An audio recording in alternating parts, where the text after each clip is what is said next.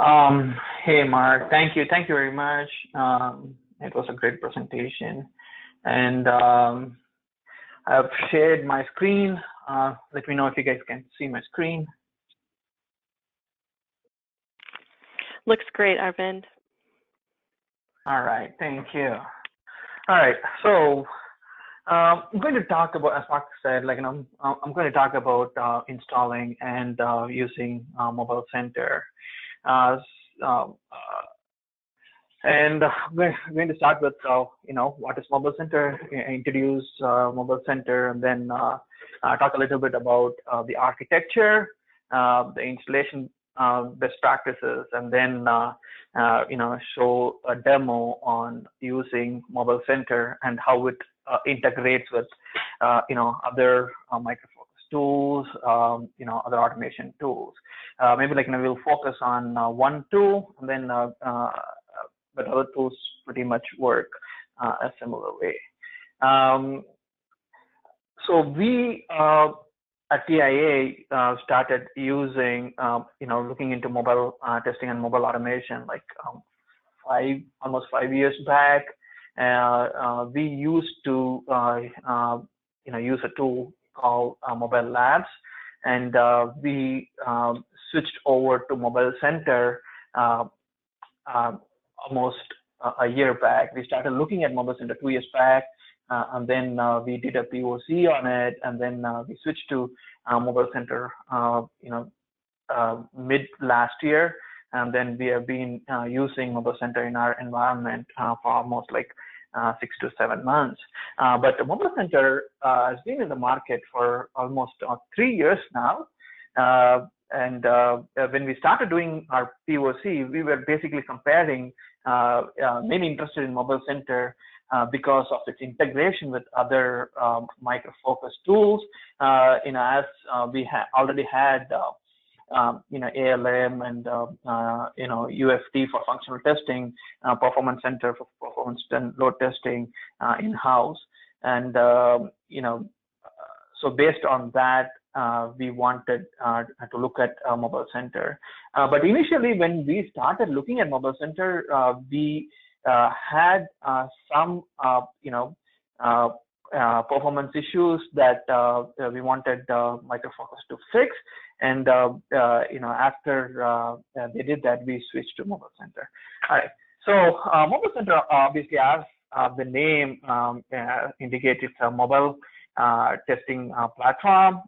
you know, and it, it, it integrates seamlessly with uh, you know the tools, other tools like um, you know UFT for functional testing and uh, um, uh, for test automation tools, uh, UFT and LeanFT, and uh, for performance testing tools like uh, Performance Center. Uh, and it also integrates well with uh, uh Appium uh, for uh, test automation. so it supports real devices and emulators. you know that is one of real good benefits of using Mobile Center, right? so we can have an on-prem Uh, uh, lab uh, setup where uh, we have a collection of Android and iOS devices, and we, it also works with the cloud where we can have where we can connect to Amazon device farm, and you know you can um, get devices from the cloud and then uh, execute your tests there too. And uh, it also integrates uh, via plugin to Jenkins, uh, Uh, if you want to, uh, uh, if you have a, a defined uh, DevOps uh, environment and a pipeline, and then you can do an automated build and deploy. And if you have a well-defined automated test suite, you can actually kick it off from Jenkins using a plugin. Um, so mobile center architecture uh, so it's a client server architecture and uh, uh, uh it, uh, it has a server and a connector piece.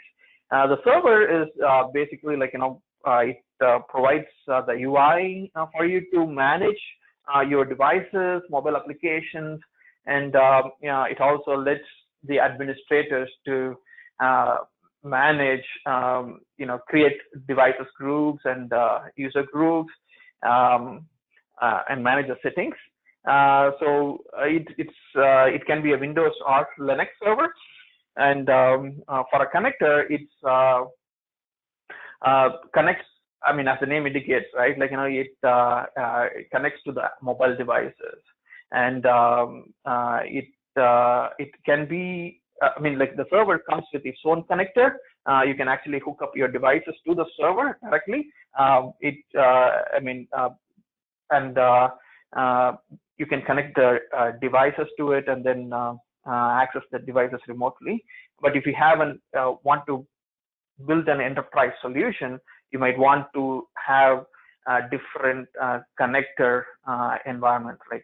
Um, and basically it supports Windows, Linux, and uh, Mac OS.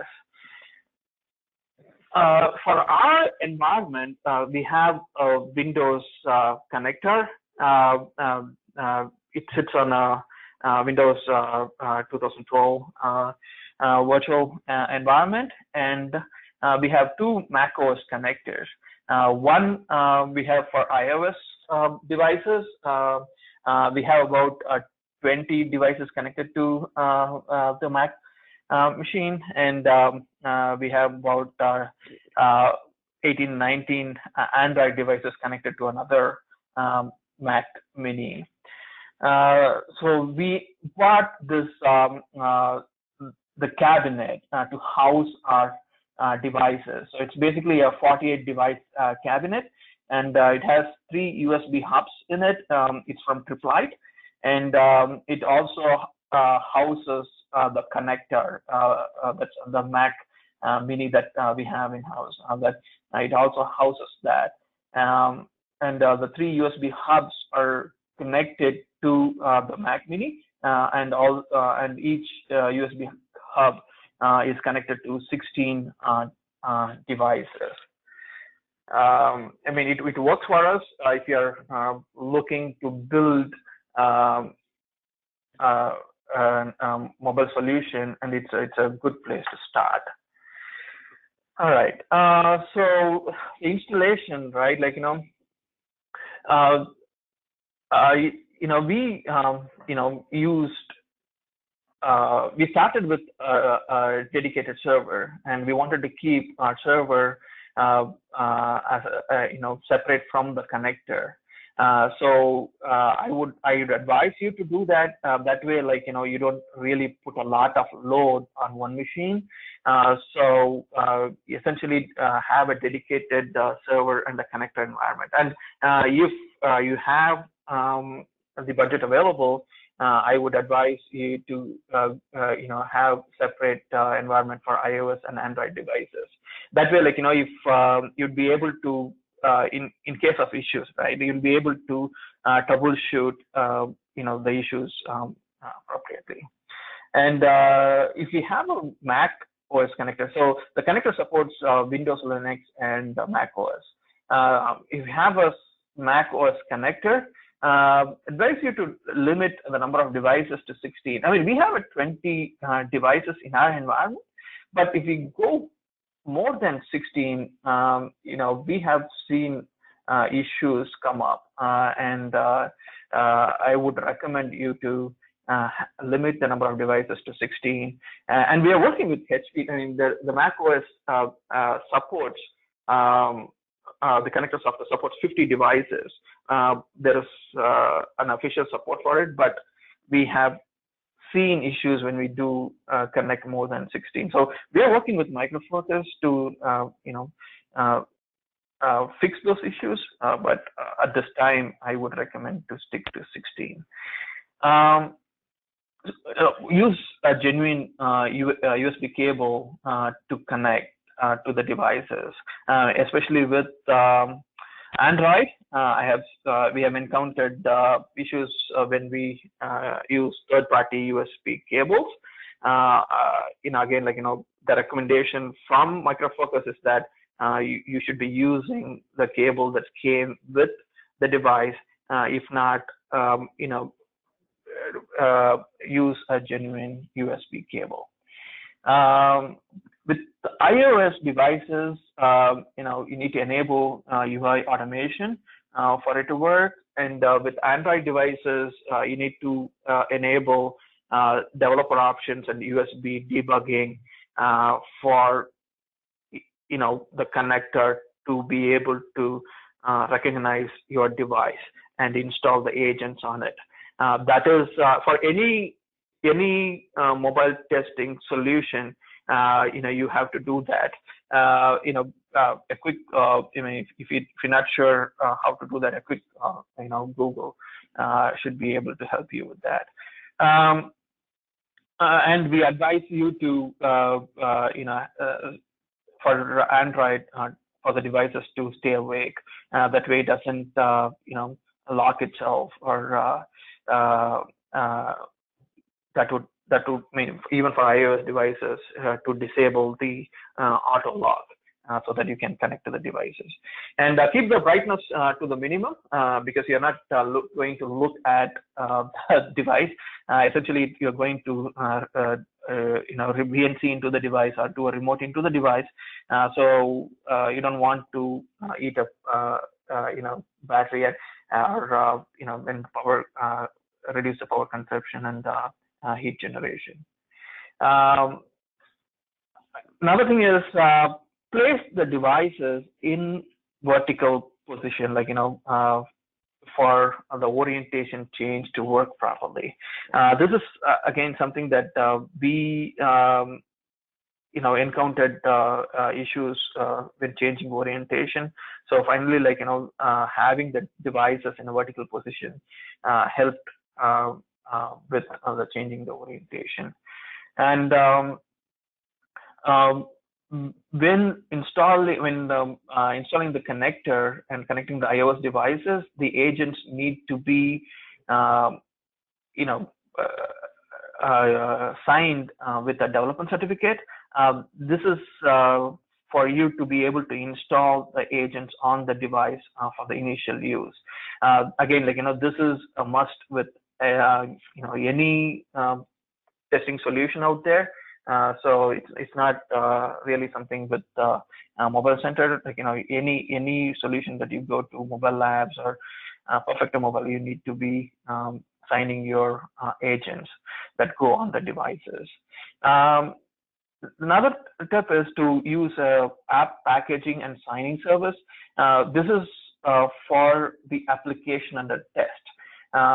so for the you know that way you know, it's automatically installed on uh, to the, I mean, I'll, I'll talk about it uh, during my demo, uh, but uh, this is, uh, again, this is not required, but recommended. Like, um, and uh, I would recommend to set up automatic app uploads to Mobile Center. That way, like, you know, your applications are not um, you know you don't have to drag and drop or uh, upload uh, your build uh, every time your build is ready. So you can actually use uh, the apis from mobile center uh, to be uh, to automatically upload applications to it. All right.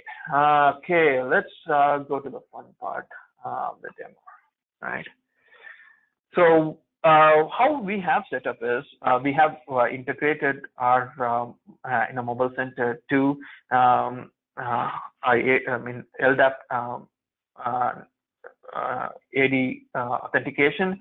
so if the users can use their email addresses or the AD IDs, network username and password to be able to log into mobile center. But for this demo, I'm going to use um, my local uh, admin account so that I can showcase um, the admin features. Uh, so log in and uh, so as soon as you can log in, like you know, you can see the uh, the UI layout, right? Like you know, uh, so there are three tabs: uh, the application, devices, admin, administration tab. A normal user would only see two tabs, apps and devices tab. And um, the uh, left side of uh, the pane, uh, you can see the filter. This is for both the apps and devices. Uh, where you can filter, uh, you know, based on your criteria, and uh, uh, you can see, uh, you know, what you're really looking for, um, and uh, you, you can, you know, I mean, since we are using a local account, I can change my password here. But if you're using your LDAP AD account, um, I mean, changing password doesn't work because it's essentially a network. Uh, uh, but if you're using a local account, uh, you can change password or log here. Um, another thing is if you are logged in as an administrator, you can collect the logs. for example, if you encounter um, a bug and if you want to send uh, the logs to uh, Micro Focus or uh, you know you want to send the logs um, to somebody else for review, right? Like you know you can collect. you don't you, you don't have to log into different server, the the connector server or uh, the actual uh, micro focus, uh, I'm sorry, mobile center server to collect the logs. one place you can collect all the logs um, when you go um, you know, uh, go to here to collect the logs. So for apps, um, so let's uh, focus on one of our applications here. Uh, so these ads, uh, as I have said, are automatically uploaded uh, uh, to Mobile Center.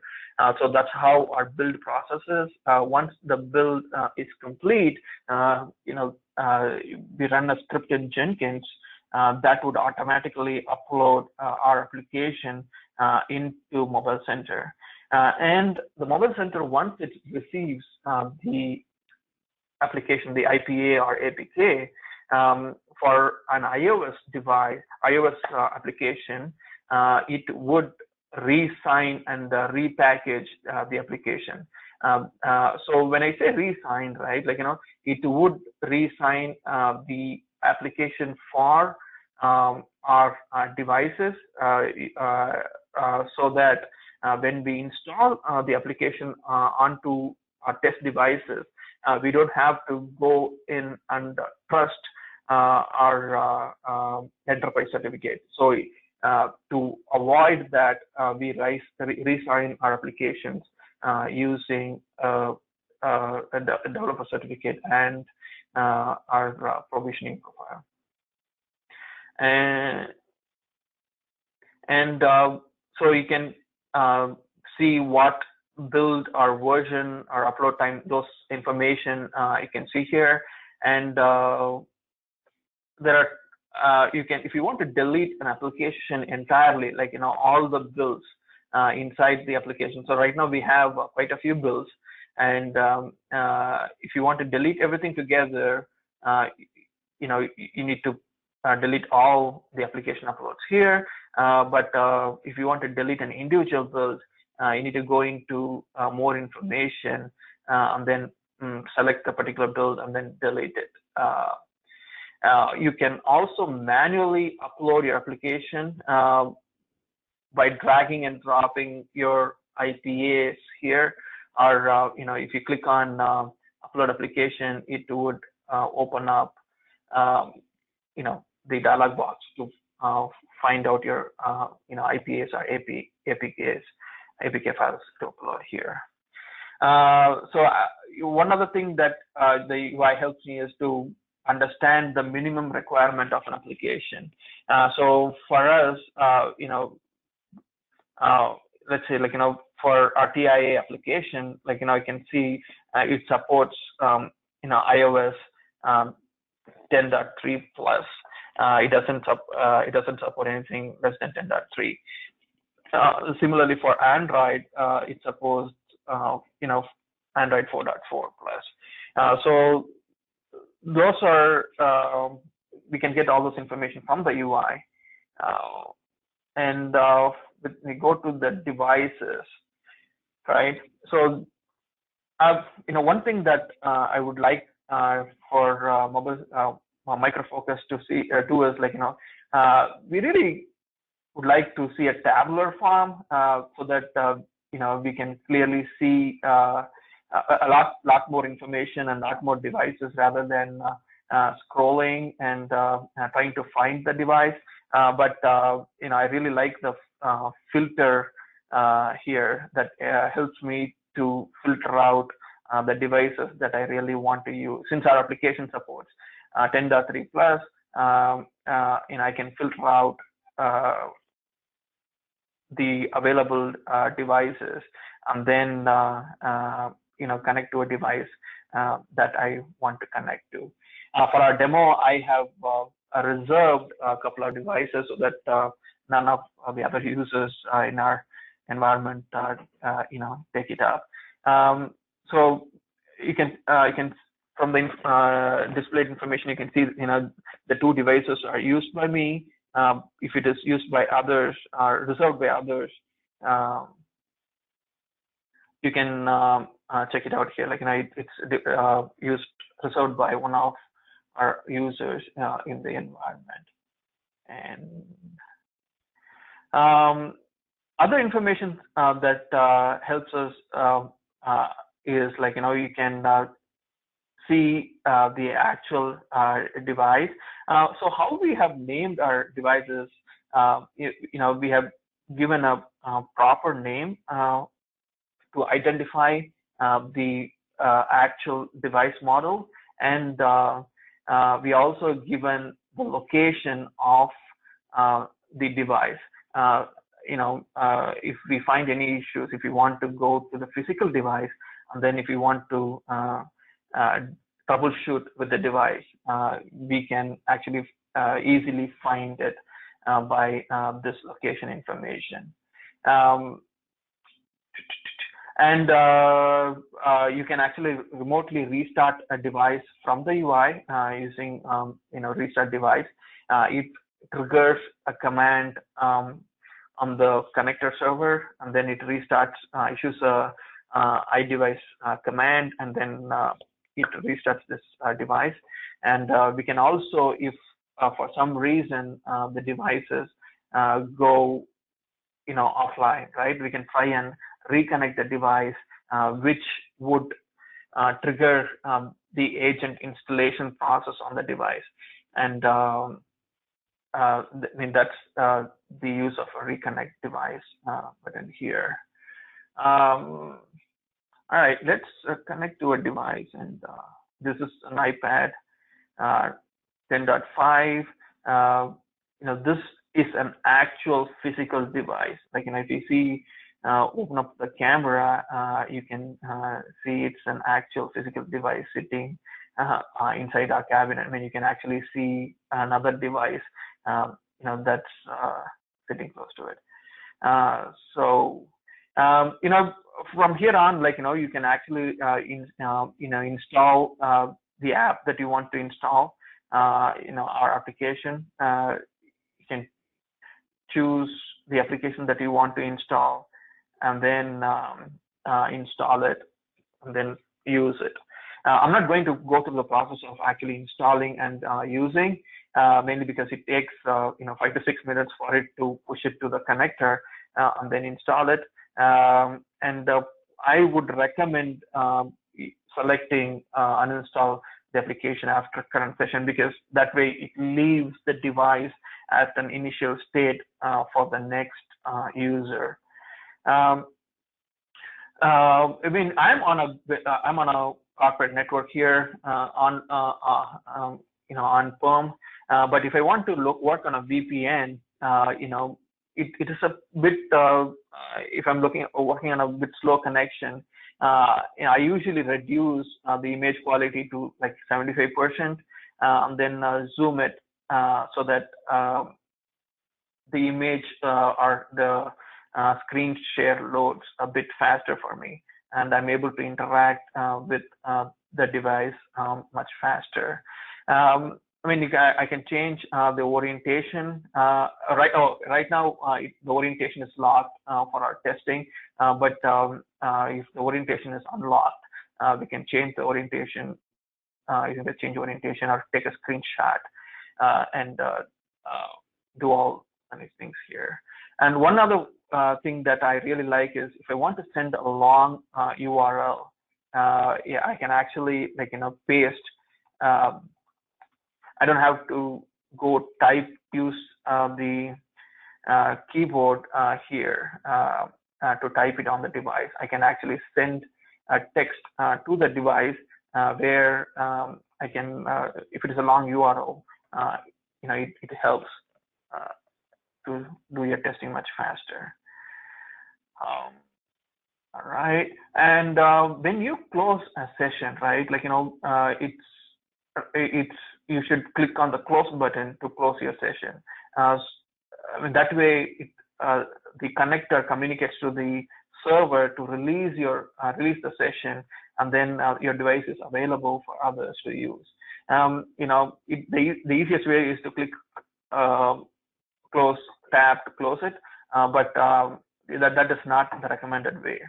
You know, you need to click on the close button to actually you know release your session. So uh, when you connect, like you know, there is a lock on the device. Uh, if you see here, uh, there is a lock on the device uh, that so that nobody can connect to it.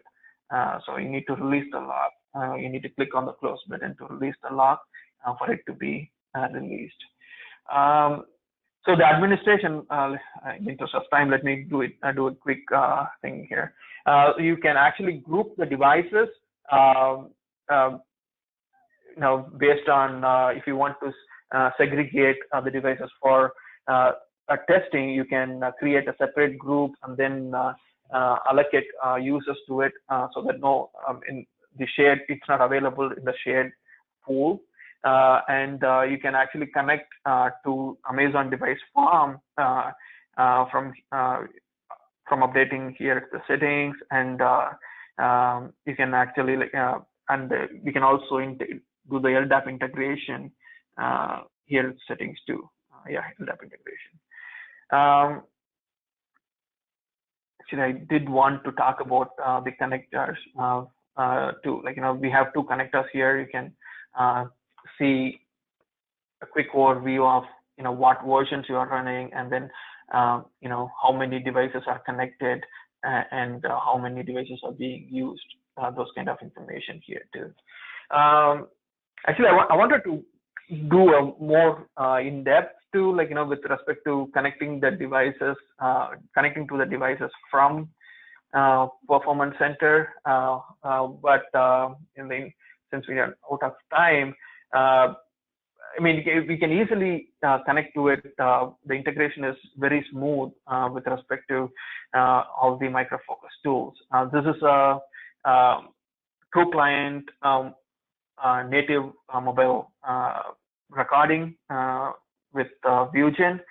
so you, you, need to just fill in the details and once you hit connect, you can actually connect to a physical device and do your recording uh, for the scripts. Um, so going back. So my contact information is here. If you have any questions regarding uh, uh, mobile center or uh, uh, you know or any mobile testing, like you know, I've been using uh, the different tools for quite some time for the past four or five years now. you know, feel free to hit me. you know, I should be able to help you guys out.